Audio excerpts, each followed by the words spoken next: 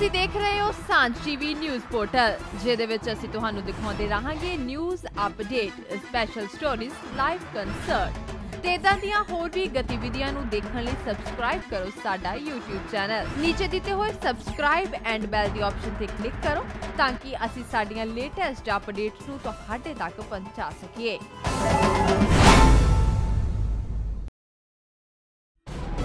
ਪਿਛਲੇ ਕੁਝ ਦਿਨਾਂ ਤੋਂ ਪਠਾਨਕੋਟ ਸ਼ਹਿਰ ਦੀਆਂ ਵੱਖ-ਵੱਖ ਥਾਵਾਂ 'ਚ ਸ਼ੱਕੀ ਵਿਅਕਤੀਆਂ ਨੂੰ ਦੇਖੇ ਜਾਣ ਦੀਆਂ ਖਬਰਾਂ ਸਾਹਮਣੇ ਆ ਰਹੀਆਂ ਨੇ।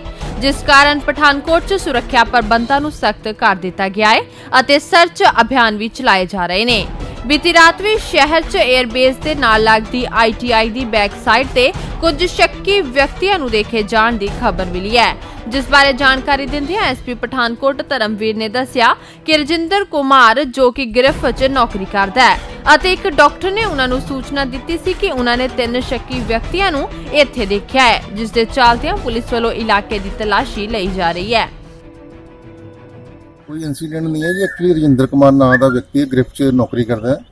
ਉਹਨੇ 11:30 ਵਜੇ ਇੱਥੇ ਅਹ, ਕਹਿੰਦੇ ਮੈਂ ਤਿੰਨ ਬੰਦੇ ਦੇਖੇ ਸ਼ੱਕੀ ਹਾਲਤ ਵਿੱਚ। ਜੋ ਮੈਂ ਗਿਆ ਤਾਂ ਉਹ ਖਾਲੀ ਸਾਈਡ ਨੂੰ ਚੱਲ ਪਏ। ਉਸ ਤੋਂ ਬਾਅਦ ਇੱਕ ਡਾਕਟਰ ਨੇ ਇੱਥੇ ਆਰਐਮਪੀ ਪ੍ਰੈਕਟਿਸ ਕਰਦੇ ਨੇ। ਉਹਨਾਂ ਨੇ ਵੀ ਦੱਸਿਆ ਵੀ ਥੋੜਾ ਜਿਹਾ 15-20 ਮਿੰਟ ਦਾ ਫ਼ਰਕ ਹੈ ਉਹਨਾਂ ਨੇ ਵੀ ਕੋਈ ਬੰਦੇ ਆਪਣੀ ਬੈਕ ਸਾਈਡ ਤੇ ਕਲੋਨੀ ਦੇ ਕੇ ਜਿਹੜਾ ਡਾਕਟਰ ਦਾ ਰੈਜ਼ੀਡੈਂਸ ਆ, ਉਹ 에ਅਰ ਫੋਰਸ ਦੀ ਬੈਕ ਸਾਈਡ ਤੇ ਲੱਗਦਾ ਹੈ। ਤੇ ਇਸ ਕਰਕੇ ਰਾਤੀ ਵੀ ਰਾਤ ਦੀ ਸਾਰੇ ਨਾਕਾਬੰਦੀ ਕੀਤੀ ਹੋਈ ਹੈ। ਤੇ ਜਿਹੜੇ ਖਾਲੀ ਬਿਲਡਿੰਗਸ ਸੀ, ਜਿਹੜੀਆਂ 에ਅਰ ਫੋਰਸ ਦੇ ਲਾਗੇ ਆਈਟੀਆਈ ਪਲੱਸ ਜਿਹੜੀਆਂ ਉਹ ਖਾਲੀ ਘਰ ਸੀ ਉਹਨਾਂ ਦੀ ਸਰਚ ਕੀਤੀ ਜਾ ਰਹੀ ਹੈ। ਇਹਦੇ ਵਿੱਚ ਸਾਰੀ ਫੋਰਸਸ ਹੈਗੀਆਂ ਨੇ।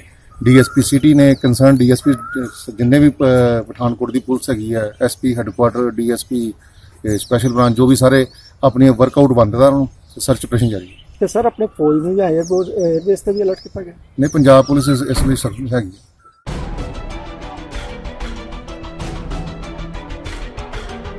ਪਠਾਨਕੋਟ ਤੋਂ ਲਾਪ੍ਰਿਤ ਸਿੰਘ ਦੀ ਰਿਪੋਰਟ ਤੁਸੀਂ ਦੇਖ ਰਹੇ ਹੋ ਸਾਂਝ ਟੀਵੀ ਨਿਊਜ਼ ਪੋਰਟਲ, ਜਿਹਦੇ ਵਿੱਚ ਅਸੀਂ ਤੁਹਾਨੂੰ ਦਿਖਾਉਂਦੇ ਰਹਾਂਗੇ news update special stories live concert ਤੇ ਇਦਾਂ ਦੀਆਂ ਹੋਰ ਵੀ ਗਤੀਵਿਧੀਆਂ ਨੂੰ ਦੇਖਣ ਲਈ ਸਬਸਕ੍ਰਾਈਬ ਕਰੋ ਸਾਡਾ YouTube ਚੈਨਲ ਨੀਚੇ ਦਿੱਤੇ ਹੋਏ ਸਬਸਕ੍ਰਾਈਬ ਐਂਡ ਬੈਲ ਦੀ ਆਪਸ਼ਨ ਤੇ ਕਲਿੱਕ ਕਰੋ ਤਾਂ ਕਿ ਅਸੀਂ ਸਾਡੀਆਂ ਲੇਟੈਸਟ ਅਪਡੇਟਸ ਨੂੰ ਤੁਹਾਡੇ ਤੱਕ ਪਹੁੰਚਾ ਸਕੀਏ।